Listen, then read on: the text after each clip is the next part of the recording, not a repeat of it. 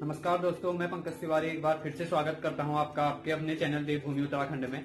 अगर आप मेरे चैनल पर नए हैं तो चैनल को सब्सक्राइब ज़रूर कर लीजिए, वीडियो ज़्यादा से ज़्यादा लोगों तक शेयर कीजिए। दोस्तों, आज की वीडियो में हम बात करेंगे, एनआरसी और सीए क्या है, और इसके जो विरोध में हमारे देशवासी जो प्रदर्शन कर रहे हैं, और इसके लिए जो कुछ राजनीतिक पार्टियाँ हैं, जो इनको सपोर्ट कर रही हैं और उनके बारे में कुछ बताऊँगा मैं आप लोगों को इस वीडियो के बारे में कि आखिर ये क्या क्या चीज़ें हैं और क्या इससे फ़ायदा हो रहा है और क्या नुकसान है इससे देशवासियों को। नुकसान कहें तो नुकसान की बात अगर मैं करता हूँ तो कोई ऐसा नुकसान है नहीं जो हमारे देश के नागरिक हैं, उनको नागरिकता मिली हुई है तो उनको ऐसा कोई नुकसान है नहीं।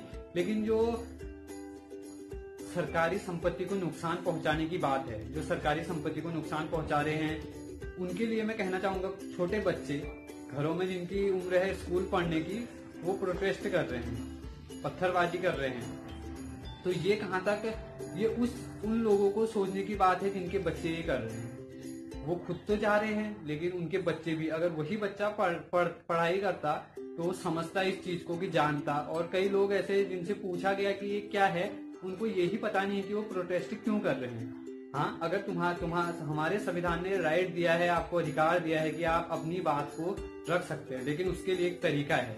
आप ऐसा नहीं कि आप सरकारी संपत्ति को नुकसान पहुंचाएँगे, जो लोगों के टैक्स से जो पैसा से जो चीज़ें जुड़ी हुई है, सरकारी संपत्ति जुड़ी हुई है, आपके टैक्स से, हमारे टैक्स से जो सरकारी संपत्ति जुड़ी हुई है, हम उसको नुकसान पहुँचा रहे हैं।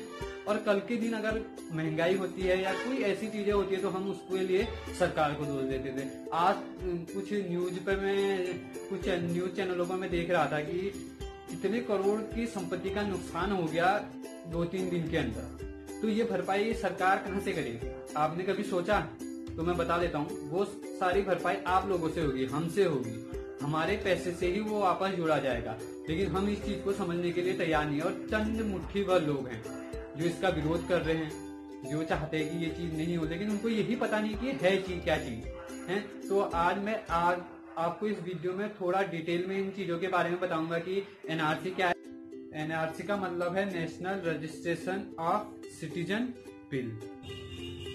C A citizen amendment bill इसको सी ए या सी ए बी के नाम से, अब ये सी ए बी पहले था, अब ये बिल के रूप में हो गया तो सी ए बी हो गया सिटीजन अमेंडमेंट बिल दोस्तों, एनआरसी के तहत आपको साबित करना होगा कि 24 मार्च 1971 से पहले आपके पूर्वज जो थे, वो भारत में आ चुके थे।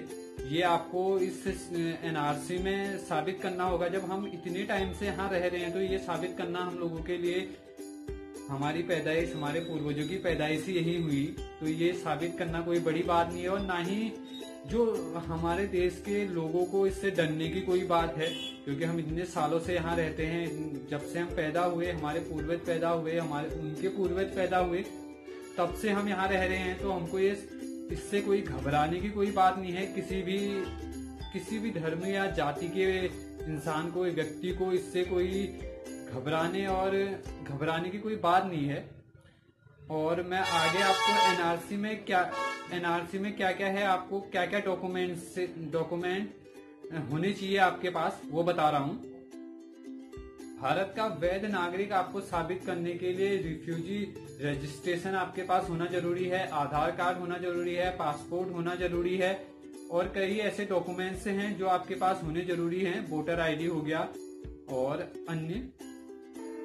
दोस्तों, अब हम बात करेंगे सी A B C A B C ए ये क्या है?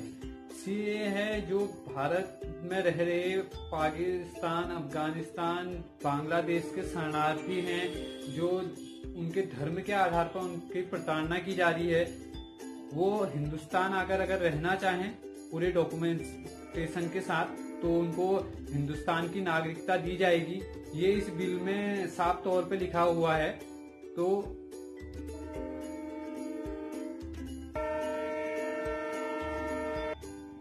दोस्तों सीए क्या है? सीए है सॉरी दोस्तों सीए के बारे में मैं आप लोगों को बता चुका हूँ। मैं इससे सीए से बताना चाह रहा हूँ कि इससे भारत के जो हमारे मुसलमान भाई हैं, इनको इससे कोई फ़र्क पड़ेगा या नहीं पड़ेगा? जो भारत सरकार, गृह मंत्रालय है, उसने पहले ही साफ़ कर दिया कि जो भारत में रह रहे मुसलमान भाई हैं, उनको इससे कोई फ़र्क नहीं पड़ने वाला है। लेकिन फिर भी कई मुसलमान भाई प्रोटेस्ट करने निकल चुके हैं और सरकारी संपत्ति को नुकसान पहुँचा रहे हैं और ये सोचते हैं कि इन चीज़ों से जो है सरकारी बिल बंद कर देगी। इस तरह से तो नहीं हो पाएगा। ये मैं आप लोगों को भी जानकारी दे दूँ। अगर एक चीज़ होती है कि अगर आप सही तरीके से आप वो लोग कहते हैं कि वो कानून की रक्षा कर रहे हैं। कानून में लिखा हुआ है कि आप अपने, अपनी मांगे रखने के लिए तोड़फोड़ करेंगे, जो सरकार की संपत्ति है उसको नुकसान पहुंचाएँगे। सरकार कानून में ये तो नहीं है ना, आप अपना प्रोटेस्ट कीजिए, शांतिपूर्ण ढंग से कीजिए। आप, आपकी जो मांगे हैं उनको रखिए। आपकी मांगे क्या है, आपको खुद पता नहीं और आप चले हैं प्रोटेस्ट करने। और आप अपनी मांगों को पता नहीं क्या क्या साबित या क्या सिद्ध करना चाह रहे हैं, ये तो मेरी समझ से बाहर है। क्योंकि आपने ऐसी कोई भी तथ्य रखे नहीं है कि जिससे ये पता चल सके कि आप चाहते क्या हैं। इससे यही पता नहीं चल पा रहा कि आप लोग क्या चाहते हैं। तो मेरा उन सभी जो प्रोटेस्ट करने निकले हुए हैं उन सभी से अनुरोध है देवभूमि उत्तराखंड के पूरे परिवार की ओर से कि अगर आप किसी बात को अपना मनाना चाहते हैं कोई आप, आपकी मांग है तो उसको शांतिपूर्ण ढंग से आप सरकार के समक्ष रखेंगे सरकार भी समझेगी तब उस पर फोकस होगा। अगर आप इस तरह से करते रहे आज आप ये चीज़ें भी सोच लीजिए कि आप कुछ कितने होंगे? एक लाख एक लाख लोग ऐसे होंगे जो इसका विरोध कर रहे हैं। कुछ उसमें से पचास हज़ार तो ऐसे होंगे जो राजनीतिक पार्टियों से ताल्लुक रखते हैं, जो अपनी राजनीति के लिए ये सब कर रहे हैं। और पचास परसेंट जो हमारे नॉर्मल रहने वाले मुसलमान भाई हैं, वो इस, ये प्रोटेस्ट कर रहे होंगे। और कुछ परसेंट जो हमारे बच्चे हैं जिनको पढ़ना चाहिए, वो इसमें कूदे हुए हैं। तो वो थोड़ा ये प्रोटेस्ट कर रहे हैं। तो आप इतना समझिए, अगर जो ये समझने की बात है कि जो इसके समर्थन में लोग हैं, जिस दिन वो आगे इसके समर्थन में और वो रोडों पर आ गए सड़क पर वो लोग आ गए जो इसका समर्थन करते हैं तो तब आप सोचिए तब क्या होगा। ये आपको सोचना है, मुझे नहीं। हम तो चाहते हैं कि शांतिपूर्ण ढंग से अगर आप कोई भी चीज़ करवाना चाह रहे हैं तो उसको शांतिपूर्ण ढंग से कीजिए। सरकारी संपत्ति को कोई नुकसान नहीं पहुंचाइए, क्योंकि वो संपत्ति आपकी है, मेरी है, हमारे टैक्स से, हमारे पैसों से जुड़ी हुई है। और कल के दिन उसकी भरपाई जो होगी, वो हमारे पैसों से ही होगी। ये आपको समझने की बहुत ज़रूरत है कि इससे कोई फ़ायदा नहीं है, कानून बन चुका है, ये लागू होगा। और इसमें कोई गलत भी नहीं है जो तुम नागरिक हो आप इतने दशकों से यहाँ रह रहे हो तो आप पे इसका कोई प्रभाव नहीं पड़ेगा। आपके लिए अच्छा है कि आपका रिकॉर्ड होगा गवर्नमेंट के पास। आपको किसी कल, अभी तो आपको दिक्कत लग रही होगी, लेकिन भविष्य में आपको इससे जो होने वाले फ़ायदे हैं उसके बारे में पता चलेगा। कितने लोग आते हैं हमारे देश में, कितने घुसपैठते आते हैं, इसका कोई भी रिकॉर्ड हमारे पास नहीं है। और रहते हैं हमारे पैसों से हमारे जो संसाधन है, उनका उपयोग करते हैं, तब हमें इस चीज़ के बारे में कोई दिक्कत नहीं होती, कोई परेशानी नहीं होती, हम आराम से उन्हें रहने देते हैं।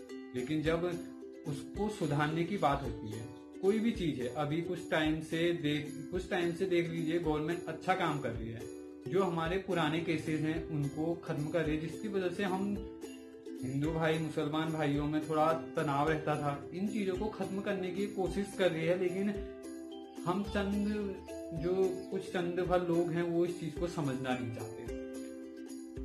तो दोस्तों, देवभूमि उत्तराखंड आपसे रिक्वेस्ट करती है, शांतिपूर्ण प्रोटेस्ट कीजिए, अपनी मांगों को शांतिपूर्ण ढंग से गवर्नमेंट के सामने रखिए और जुड़े रहें। और इस वीडियो में अगर आपको कोई बुरा लगा, कोई ऐसे शब्द मैंने अगर, वैसे तो मुझे लगता नहीं है कि मैंने कोई ऐसा गलत शब्द कहा है किसी भी तरह का, लेकिन अगर आपको लगता है कोई गलत शब्द का प्रयोग मैंने इसमें कहा है और कोई जानकारी में कहीं पर कोई मिस्टेक है तो आप मुझे कमेंट बॉक्स में कमेंट करके ज़रूर ये बताएँ।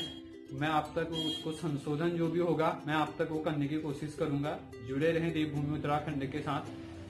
और उत्तराखंड से जुड़ी किसी भी जानकारी के लिए आप उत्तरा, देवभूमि उत्तराखंड चैनल को सब्सक्राइब ज़रूर कर लीजिए और उत्तराखंड के टेम्पलों के बारे में और जानने के लिए मेरे ब्लॉगर पेज और वर्ड पे भी मुझे फॉलो कर लीजिए और फेसबुक पेज पे भी फॉलो कर सकते हैं। सबके लिंक मैं नीचे डिस्क्रिप्शन पे दे दूँगा। लेकिन दोस्तों, शांतिपूर्ण प्रोटेस्ट कीजिए।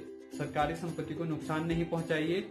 यही मेरा आप लोगों से कहना है। जय देवभूमि, जय उत्तराखंड, भारत माता की जय। वंदे, जय हिंद।